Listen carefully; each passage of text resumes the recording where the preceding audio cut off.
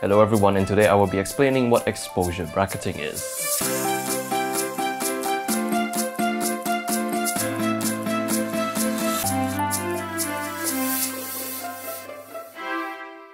So AEB, which is short for Automatic Exposure Bracketing, is a feature pretty much found on every DSLR camera. So if you go into the quick menu of your camera and you select the exposure bar, then you proceed to turn the main dial, you will notice three dots appear on the bottom of the exposure bar.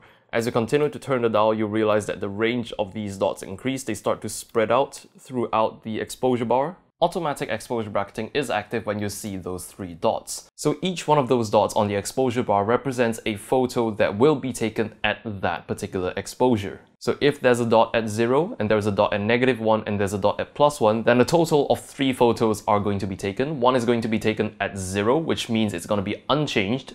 One is going to be taken at negative 1, meaning it's going to be exactly one stop darker. One at plus 1, meaning it's going to be exactly one stop brighter.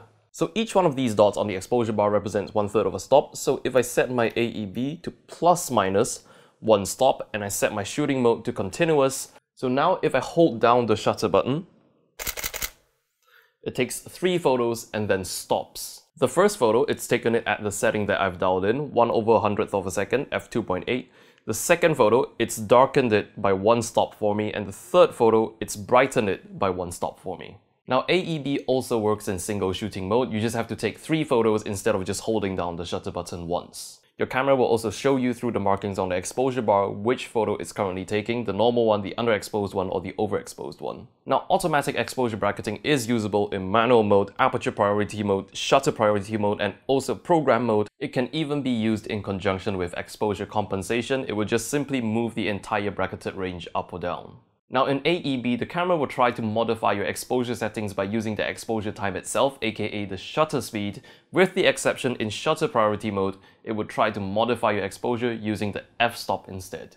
So what is this feature used for? Most commonly, this feature is used for HDR photography, whereby you take the first photo to expose for the midtones, and then you take a photo to expose for the highlights, and then you take another photo to expose for the shadows, and then you merge all these three images in post, and it gives you a sandwich, I mean HDR image. Another situation where you might find yourself using exposure bracketing is when you're shooting a scene with tricky lighting. For example, a backlit scene with very harsh highlights and very dark shadows, and you're not quite sure about the exposure, so through exposure bracketing, you take a whole range of exposures just to be sure. On most cameras, you also have the option to tweak some custom settings for automatic exposure bracketing. For example, you can change the bracketing sequence, the sequence in which the photos are taken. If you do not want it to take the undeviated photo first, followed by the negative exposure, followed by the positive exposure one, you can tweak it to negative, zero positive, or positive, zero negative, for whatever reason. You can also change the number of bracketed shots on my camera here. You can set it to a maximum of seven, so when you set it to 7, basically it takes one image in the middle and it takes three incrementally darker image followed by three incrementally brighter images. So that's pretty much it for exposure bracketing. If you have any questions, any comments, just leave them in the comment section below. Let me know as well if there's any other way you have used or would use exposure bracketing. So that's it for today everybody. Thank you so much for watching and I will see you in the next video.